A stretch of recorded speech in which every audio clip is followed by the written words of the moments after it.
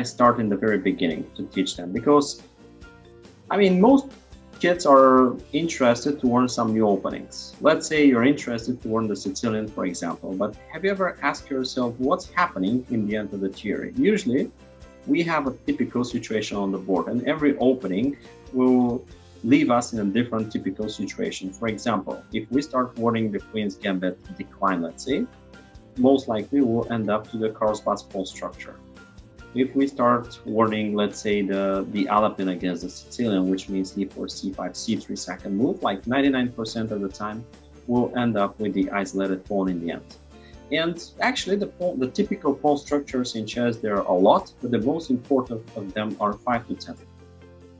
For instance, if you don't like to play the King's Indian defense, you don't need to, to study the King's Indian pawn structure, even though it's going to be very useful in general. So why the pawn structures are so important? Because once you know the main principles of playing the pawn structures, it will help you to deal better with your pieces, which means you know exactly the importance of different the different exchanges in the positions. You know the most standard plans. You know the typical tactics, which kind of positions are good and bad, what you should try to avoid. And this is way more important than learning the theory. So for me, if you want to learn one opening well, first of all, you need to, to cover the pawn structure coming from the opening. Later on, you should study the theory, and after that, you have to spend some time playing the opening, getting some practice, experience. This is how we call this. Maybe you should work on your games, work on your weaknesses in this these games, and then you'll be ready to start using it as a pro. So the pawn structures are this what I've tried to answer many times in the chat.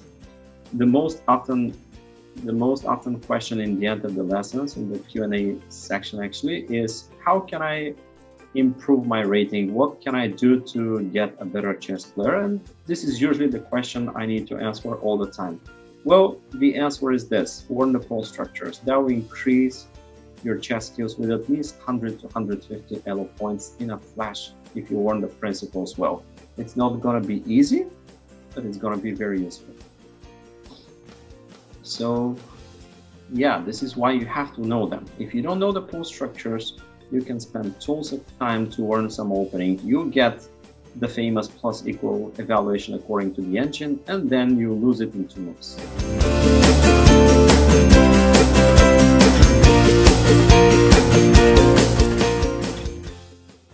I guess your level is less than 2200 asking me this question for sure because if your level is over 2200 it's going to be pretty much impossible to reach that level without uh, having a pretty good idea about the pawn structures.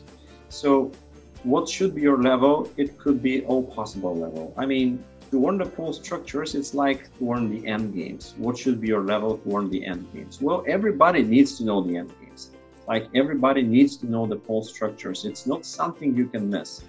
It's like if I ask you what is your name and you're telling me Amit, you must know it. You don't think about it. So you can't reach a good level in chess, like 2000 plus, let's say, without having an idea how to deal with your pieces in different pawn formations, in different pawn structures. You can't reach level of 2000 and more if you don't know the typical tactics like like windmill, like discover check, fork, and things like this. So this is simply a part of the game, different elements of the game, which if you don't know, you're vulnerable because the opponents will know that. And instead of saving your time and energy during the game and playing something with confidence, you spend a ton of time thinking about something what the other knows. So it's really important for every kind of level. Simply there are different levels for the different skills. Let's say if we start, I can tell you how I started wording the isolated pawn structure. I mean, I started wording this pawn structure seriously when I was maybe 12, 13 years old. Of course, I had some idea how to play it, but not such a good idea how to play it. And then I bought my first book about the isolated pawn structure, which was exactly 326 pages. I covered the whole book, and in the end of the book, I realized that I still don't know how to play. Now imagine what it would be before the book. So, and th this what I will try to do is to give you all that in, in a few hours. And for those who are interested to be world champions one day, I will tell you, guys, it can be enough. You can get the most important from me, but you should keep working on it with the time, which means you keep getting better, you start playing games in the structures, you keep working on your games and analyzing your games. Do not expect somebody to make you a 2700 player in, in 10 hours or 20 hours. This is just the beginning of this journey, but this kind of beginning will, will help you to improve your chess skills quite a lot.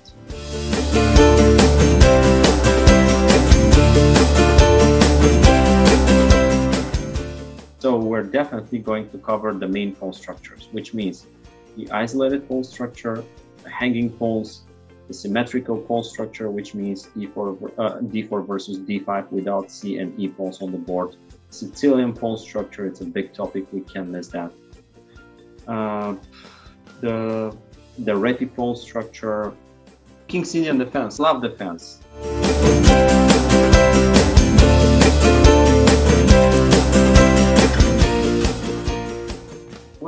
Let's say after this course, you'll be able practically to use 90% of the different openings in chess.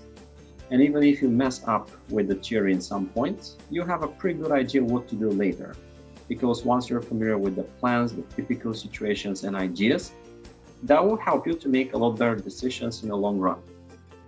So in some point of the game, the theory is over, but your middle game skills will help you to make better decisions till the end of the game or at least till the end of the middle game.